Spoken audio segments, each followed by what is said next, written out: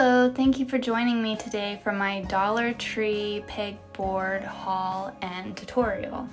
So these are all the things that I got from the Dollar Tree for the pegboard system. These are some metal loop hooks and then these are the large square pegboards. And then you'll want these, they're the sticky things that go on the back that'll hook it to the wall if you don't want to use screws. And then these are the trays. I really like these. They hold quite a bit of stuff.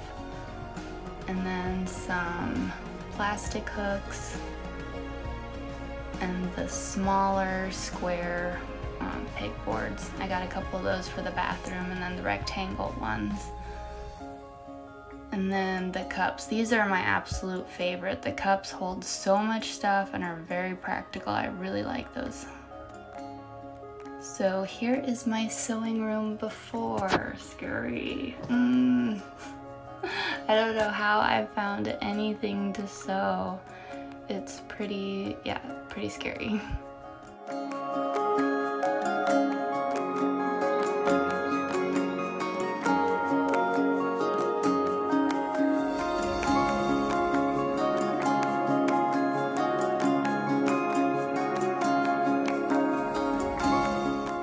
Okay, so now we're getting into the install. So it was actually super easy. I decided that I was just gonna use the sticky tabs to put it on my wall. And these things are super strong, so don't worry about it like not sticking or like it falling off eventually because it's not going to. I think it's going to be the opposite problem. I think they're going to stay on forever and if you want to take them off, I really don't know what it's going to do to my wall, but I figured this is my sewing room and it's going to stay my sewing room and so it's just going to stay here. I'm not worried about taking it down or whatever. But I would suggest getting a level because it's really hard to like eyeball it to make sure it's straight. I did a decent job, but I think it's going up slightly on the right hand side. And once you stick it on the wall, you're not really gonna get it back off to like fix it. So I was kind of, I was trying to do my best, but it is a little wonky because some of the pieces don't fit together perfectly. So you can kind of tell there's a hole over on the right hand side where it doesn't like slip together. So here I'm using the metal loop holders and putting all my scissors in, which is super convenient. So that way I can see where they are and hopefully put them back where they're supposed to go so that I can find them again.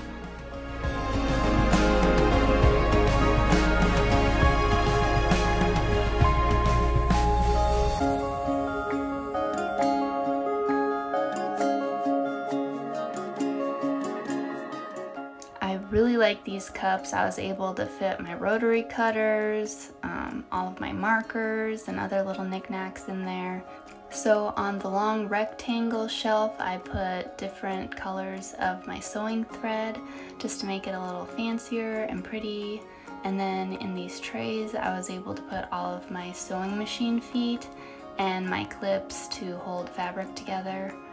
And then this one is the square shelf and I put a pretty sign from the Dollar Tree.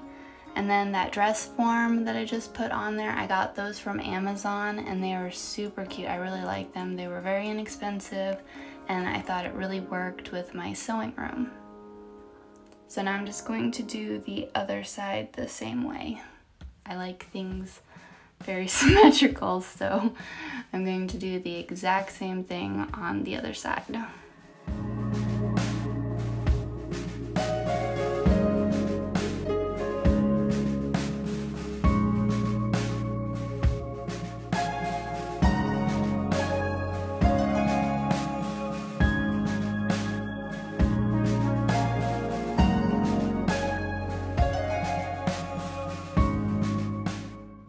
So in this tray, I put all of my sewing machine needles and then my little needle um, pin cushion thing.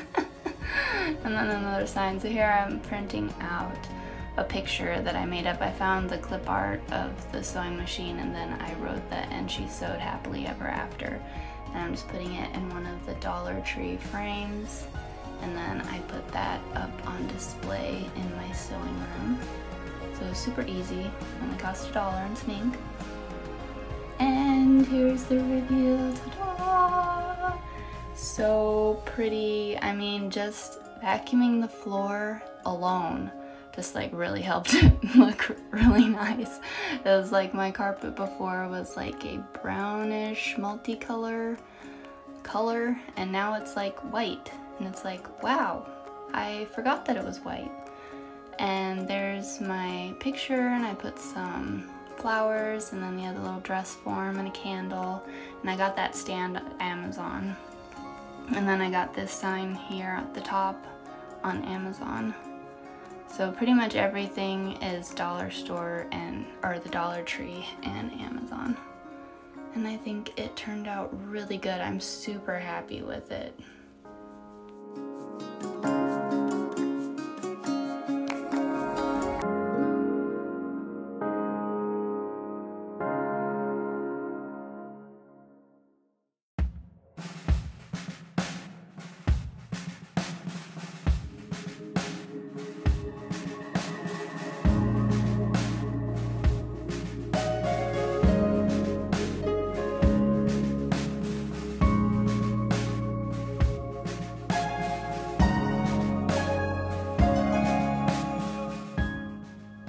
So yeah, there's the before and after. It makes a huge difference and it is really great storage and just making it look a lot cooler and professional.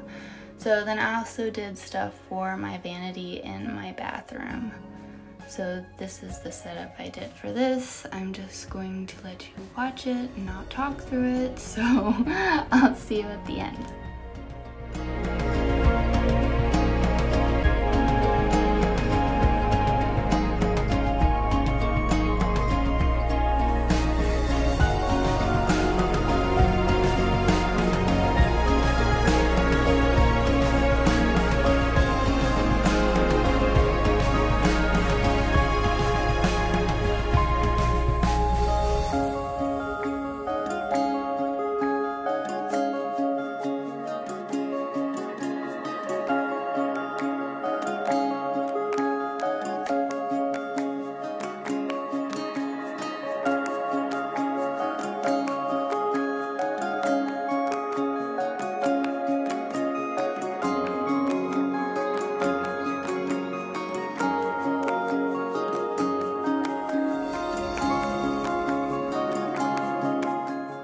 So I hope this was helpful for you and gave you some ideas of how you could use the pegboard from the Dollar Tree for organization in your bathroom, in your sewing or craft room.